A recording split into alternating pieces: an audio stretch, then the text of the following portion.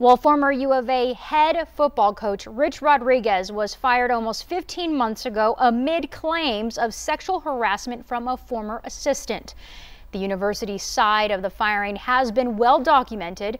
We haven't heard much from Rodriguez, but he recently spoke with News 4 Tucson investigator Matthew Schwartz in a story you'll see only on 4. It certainly still hurts. Rich Rodriguez says he didn't deserve to be fired as UA's head football coach, especially in the way he was told. Are you angry about how it ended? Sure. Rodriguez says the university fired him on January 2nd, 2018, via email. I was home with the family, and so all of us were just floored with it. And, you know, the disappointed, not just because we had thought we had a great team coming back, but just um, the way it all went down was, was certainly saddened and disappointed. And Rich Rod, as he's known, says after six seasons, the UA should have told him in person, not email. Certainly, that's not customary, I think, and on any level, but particularly at, at, at this level. And, and, it was a shock. You know, you know, the, the, the type of disappointment and shock that happens when you when you're you know get called from a reporter first, and then uh, then you try to get a hold of somebody and then they say, well, check your email. And then you look at your email. And In what he said was his first sit down interview since getting fired, Rodriguez covered a wide range of issues with the News 4 Tucson investigators. His dismissal um, came after his administrative assistant filed a $7.5 million notice of claim, that's a precursor to a lawsuit, alleging, among other things, that Rodriguez ran a hostile workplace and sexually harassed her.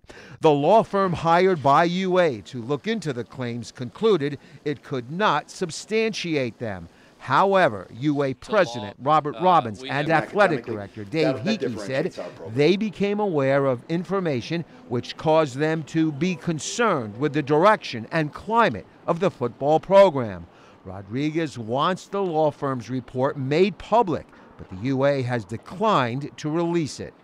Are you frustrated at the way things ended here? Sure. It was very frustrating because we were anxiously waiting for it to be finished.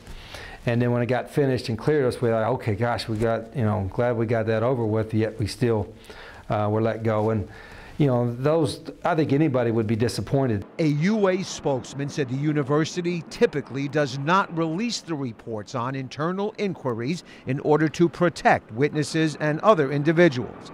Rodriguez did acknowledge that he had an extramarital affair with a woman not affiliated with the U of A. The 55 year old West Virginia native apologized to his wife and two children, but denied harassing his former assistant, calling her demands for a multi million dollar settlement extortion. He said he voluntarily took a lie detector test and passed. After the investigation came through, and yet you still, you know, got let go. Um, and we have not been able to say much about it and, and still can't to some degree. But at the same time, uh, you know, you, I can't sit here and tell you that there hasn't been a sense of frustration with this whole legal process and uh, way where sometimes I feel there's a false narrative that uh, could be corrected uh, easier had this information been able to be made, made public. Rodriguez, whose daughter works at News 4 Tucson, said the investigation not being made public created a cloud over him. When I know my family and I felt a great sense of frustration um, because we thought there was a false narrative out there that, that uh, could have been at least alleviated a little bit or corrected somewhat. Rodriguez wants it to be known that after he was fired, when potential new employers called the UA to ask about him, the powers that be did not criticize him. I want to, you know, thank President Robbins and and and I think they even uh, I think Dave Heeke got called too, and, and Dave sent some positive words. Rodriguez's salary was about two and a half million dollars, and he received a six and a quarter million dollar payout. His contract was to run until 2020, so he could have coached his son Rhett, a UA sophomore quarterback, until he graduated. I'd love to have been able to be the head coach to, uh, for my son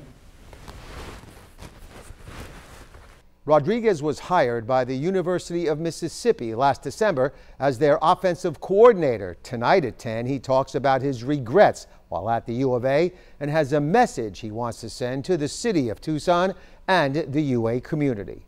Investigating for you, Matthew Schwartz, News 4 Tucson.